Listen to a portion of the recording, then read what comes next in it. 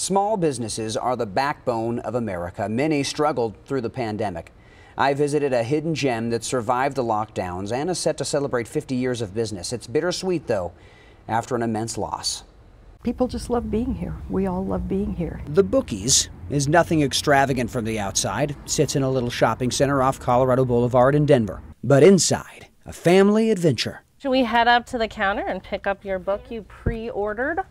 And for the staff, it's made up of mainly retirees, many of them former teachers. We don't make a lot of money. Probably goes without saying. We all yeah. work part time. Do you have this one? So many stories fill the shelves here, but there is one that tops them all. She's here every day. at some level. 50 years ago, Sue Lubeck decided the children of Denver needed a magical bookstore.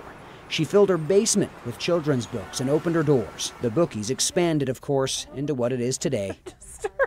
Were you? Okay. It's the most loving, supportive community. This week, the bookies will celebrate 50 years of business without the one who started it all. We were devastated.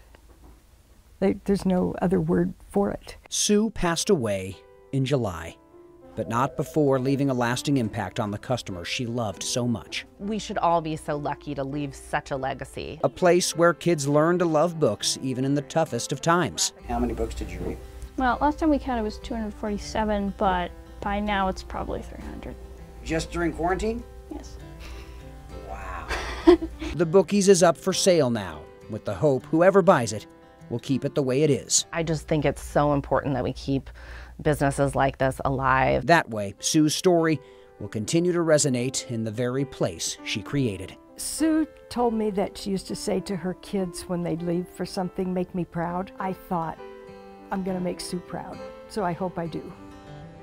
Well, you certainly made her proud. And if you want to help celebrate the bookie's 50 year anniversary and help remember Sue, head over to the store this Saturday from 10 to 5. The store is just east of Colorado Boulevard off Mississippi.